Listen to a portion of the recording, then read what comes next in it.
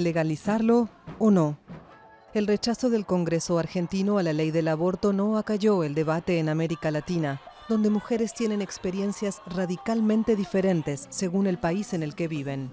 En la mayor parte de la región la interrupción del embarazo está penalizada, por lo que las mujeres que abortan deben hacerlo en la ilegalidad y con temor a las consecuencias.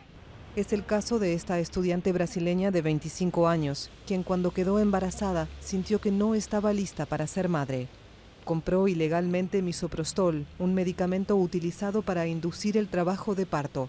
Tomó cuatro píldoras y esperó varias horas hasta que comenzaron las contracciones. Si hubiera ido al hospital me habrían tratado mal. No iban a tratarme bien porque conozco a personas que fueron al hospital y las trataron horrible. Entonces me dije, si muero voy a morir aquí acostada. Empecé a sangrar, un dolor insoportable que no se lo deseo a nadie. No solo en Brasil el aborto es considerado un crimen. En El Salvador, incluso la pérdida de un embarazo se tipifica como homicidio agravado y se castiga con hasta 40 años de cárcel. Teodora Vázquez pasó más de 10 años presa antes de que la justicia le conmutara su pena a principios de 2018. Creo que los momentos más difíciles que un ser humano puede vivir es estar dentro de una cárcel y mayormente cuando está pagando un delito que nunca se ha cometido, mayormente cuando uno sabe que es inocente. Como Teodora, Elsie Rosales asegura que su hijo nació muerto. Tenía 38 semanas de embarazo y dice que no sabía cómo eran los dolores de parto. Recuerda que sintió ganas de ir al baño. En la fuerza que yo hago, la niña nace, cae en esa fosa. Yo perdí el conocimiento, yo no sabía qué era lo que pasaba. Mi papá el siguiente día, el día sábado, porque eso pasó día viernes, me trae al hospital por la hemorragia que yo tenía. De ahí el doctor pone la denuncia. Tras pasar 10 meses en la cárcel, fue liberada porque no pudo demostrarse que se trató de una muerte inducida.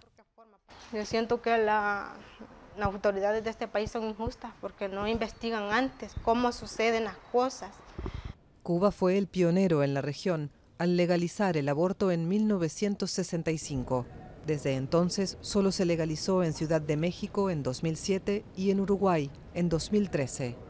Esta joven mexicana vivió la experiencia dos veces, la primera hace 12 años, en la clandestinidad.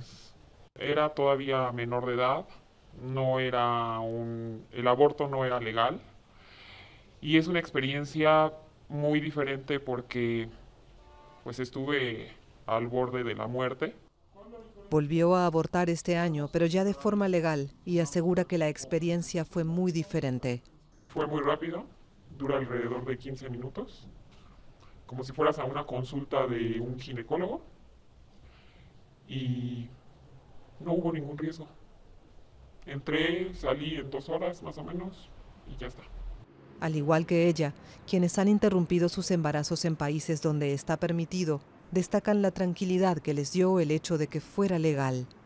En mi caso no han, no han sido experiencias que me causen ni culpa ni dolor emocional. Al contrario, han sido un alivio. He estado segura de lo que estoy haciendo eh, y agradezco que he podido hacerlo de forma segura. Lo hice en mi casa, tranquila con mi madre y con una amiga.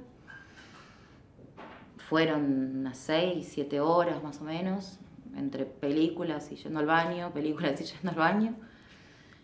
Y en el momento clave que pasa, y sí, se te, te preguntás, ¿qué pasa si me arrepiento?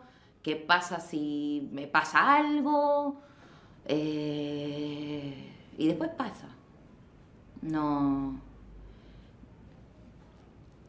Mm, después pasa. Se estima que en América Latina solo uno de cada cuatro abortos se realiza de forma segura y cada año cerca de 760.000 mujeres en la región deben recibir tratamiento por complicaciones de abortos inseguros.